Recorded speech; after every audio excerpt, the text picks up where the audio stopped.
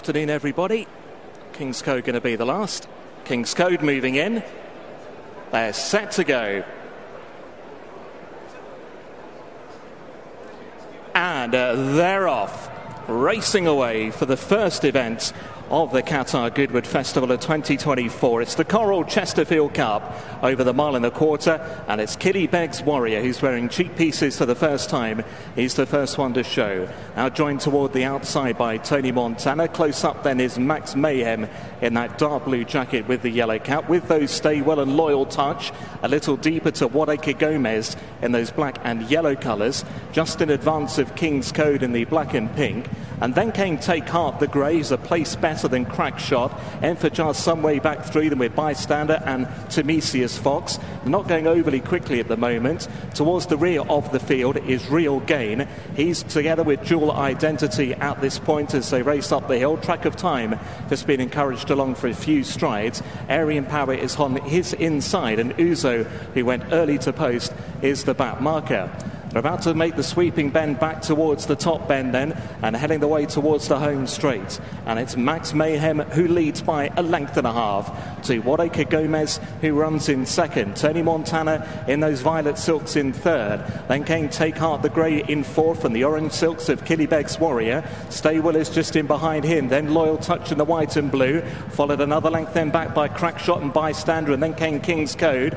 Further behind then to see Timesius Fox ahead of Dual identity. And then came Crackshot, Enfjaar poised on the wide outside of the field, being tracked by Real Gain. Uzo still right toward the back as they continue up the home straight and make their way down towards the final quarter of a mile. It's the grey. Take heart under Ben Coen, who's now come through to put it up to Max Mayhem. Just in behind them is Tony Montana, then Killybegs Warrior. Enfjaar now sent about his work at the cutaway point, and then came Stay Well, racing inside the final furlong. Now it's Take Heart with Max Mayhem battling away along the inside. Enfjaar trying to get there wider out, trying to launch his effort. It's Take Heart from Enfjaar near the line. Take Heart from Enfjaar. Take Heart has won the Chesterfield Cup from Enfjaar. Tony Montana and Max Mayhem.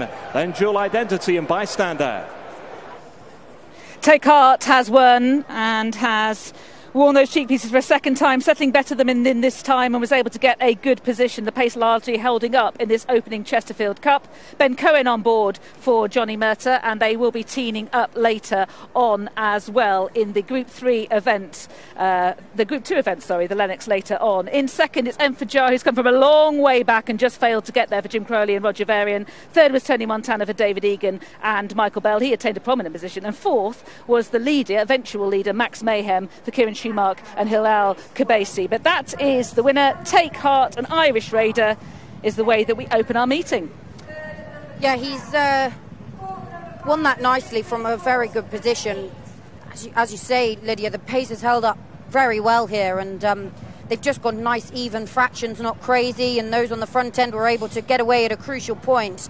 The only real closer was Enfjaar, to be honest with you. Not, a, not an awful lot has closed from the back, but um, the winner at this point, Ben Coen's asked him to stretch. He has done. He's away gone, and I think he's just stolen vital lengths. Mm. From Enfjaar at a real crucial point. He's been unfortunate, hasn't he, Enfjaar? He's still run a very mighty race in second. Those who have backed him won't want to hear that. But let's have a look at him from the start and keep an eye on stall 13 and see what happened in the early stages because that was crucial the side on shot doesn't show you as much as you'd ideally want, but there you are. He's just dropped out. They they decide to Jim Crowley decides to take him back, whereas Tony Montana, David Egan has a different plan from the adjacent stall and goes forward on him. They've actually sort of applied opposite tactics to, to what York. we expected. And yeah, exactly. So David was positive. Tony Montana actually got into his stride really nicely. Uh, took over the lead from Killybegs Warrior and just went some nice even fractions. And as you say, Jim Crowley wasn't in a rush on Enfjaar, just let him slot into a position sort of halfway. But he ended up just trapped three wide because of obviously that wider draw. And um, he had a smooth passage around Jim, but he just lost those lengths early doors that effectively the winner has managed to steal on him. And you can see at, at this point, Ben Coen just a little bit wide.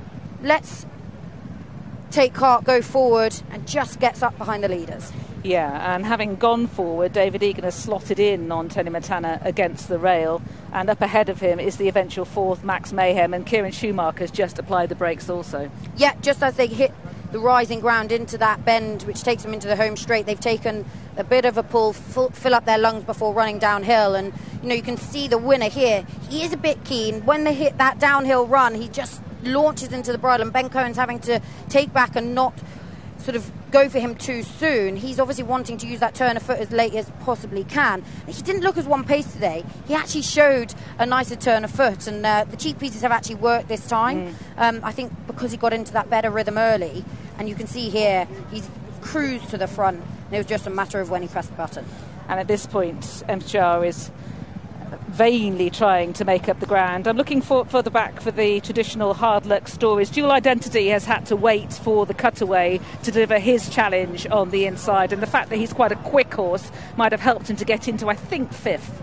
Yep, he has managed to run on a bit, hasn't he? He's passed horses late on, but he's kind of the only one really that made an awful lot of ground up from further back. Uh, bystander he's sort of been halfway and also had to wait for the cutaway, but I don't think that's really hindered his chances too much. Um, Warrior has run better in the yep. first time cheek pieces again. I wonder if there's a sort of running out of time nearly for the July course again, but um, it wouldn't be a surprise to see him back in the winners' enclosure at some point. But Enfjaar, he is the only one really that you might argue was a bit unlucky just with the position he was in in the race. He's the one that's made up the most ground, but the winner had set sail for home and uh, he's still on the race by this point.